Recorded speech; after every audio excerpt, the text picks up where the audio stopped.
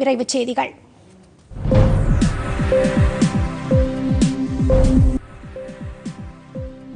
மகாகவி பாரதியாரின் நூற்று முப்பத்தி ஒன்பதாவது பிறந்த நாளை முன்னிட்டு சென்னை திருவல்லிக்கேணியில் உள்ள அவரது நினைவு இல்லத்தில் வானவில் பண்பாட்டு மையத்தின் சார்பில் பல்வேறு நிகழ்ச்சிகள் நடைபெற்றன.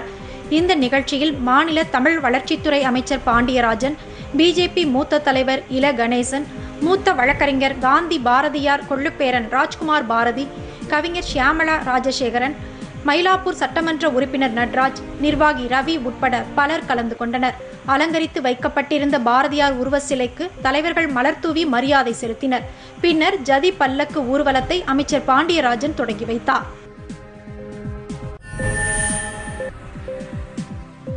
திருவள்ளூர் மாவட்டம் திருவேற்காட்டில் நடைபெற்ற நிகழ்ச்சியில் கலந்து கொண்ட பள்ளி கல்வித்துறை அமைச்சர் கே ஏ செங்கோட்டையன் சென்னை மற்றும் திருவள்ளூர் மாவட்டங்களைச் சேர்ந்த மழலையர் பள்ளி தொடக்கப்பள்ளி மற்றும் அரசு நிதியுதவி பெறும் தொடக்கப் பள்ளிகளுக்கான தொடர் அங்கீகார ஆணையை வழங்கினார்.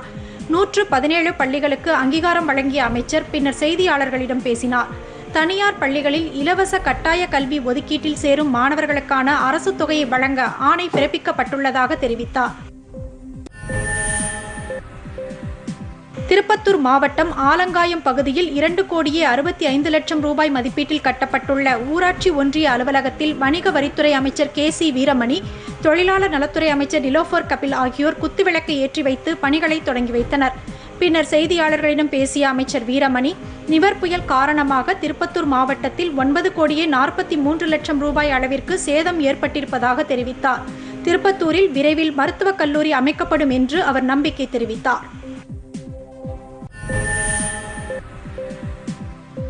அத்திக்கடவு அவிநாசி திட்டப்பணிகள் விரைவாக நடைபெற்று வருவதாக உள்ளாட்சித்துறை அமைச்சர் எஸ் பி வேலுமணி தெரிவித்துள்ளார். கோவையில் செய்தியாளர்களிடம் பேசிய அவர் கடந்த ஐந்து ஆண்டுகளில் கோவையில் வளர்ச்சி திட்டப் பணிகள் மேற்கொள்ளப்பட்டுள்ளதாக கூறினார். கோவையில் மெட்ரோ ரயில் திட்டத்திற்கான ஆரம்ப கட்ட பணிகள் நடைபெற்று வருவதாகவும் அமைச்சர் தெரிவித்தார்.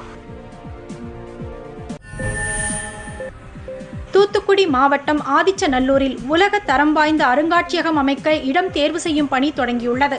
மத்திய தொல்லியல் துறை அதிகாரி அருண்ராஜ் தலைமையிலான குழுவினர் அப்பகுதியில் ஆய்வு மேற்கொண்டனர். இதற்காக ஐந்து இடங்களை இந்த குழுவினர் பார்வையிட்டனர்.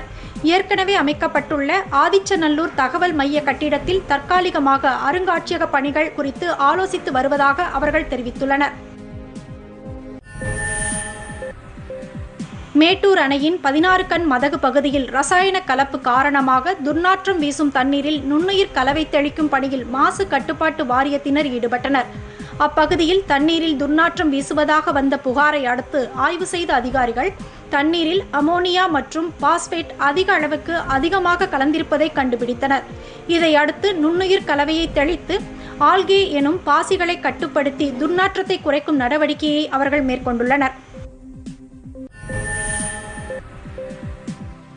பிறப்பு சான்றிதழ்களில் குழந்தையின் பெயரை பதிவு செய்வதற்கான கால அவகாசம் ஐந்து ஆண்டுகளாக நீட்டிக்கப்படுவதாக தமிழக அரசு அறிவித்துள்ளது.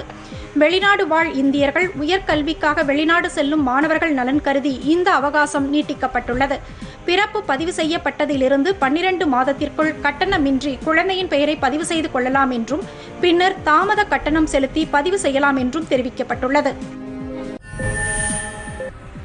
சென்னை மெரினா கடற்கரையில் நவீன தள்ளுவண்டிகளை கொண்டு கடைகள் அமைக்க விருப்பம் உள்ளவர்கள். இம்மாதம் இருபத்தி ஒன்றாம் தேதி முதல் இருபத்தி ஆறாம் தேதி வரை விண்ணப்பிக்குமாறு மாநகராட்சி ஆணையர் பிரகாஷ் வெளியிட்டுள்ள செய்திக்குறிப்பில் தெரிவித்துள்ளார். விண்ணப்ப படிவம் மற்றும் விதிமுறைகள் நிபந்தனைகள் வாடகை கட்டணம் போன்ற விவரங்களை சென்னை மாநகராட்சி வருவாய் அலுவலர் அலுவலகத்தில் நேரடியாக பெற்றுக்கொள்ளலாம் என்று அவர் குறிப்பிட்டுள்ளார்.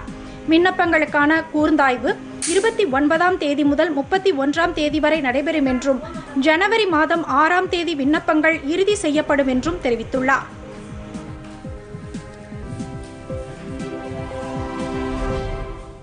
பொதிகை செய்திகளை யூடியூபில் தமிழ் நியூஸ் தூர்தர்ஷன் என்ற சேனலிலும் முகநூலில் டிடி பொதிகை நியூஸ் என்ற பக்கத்திலும் ட்விட்டரில் டிடி நியூஸ் சென்னை என்ற பக்கத்திலும் இன்ஸ்டாகிராமில் டிடி பொதிகை நியூஸ் என்ற பக்கத்திலும் காணலாம். மேலும் உங்கள் கருத்துக்களை Pothigai DD news at Gmail dot com என்ற மின்னஞ்சலில் தெரிவிக்கலாம்.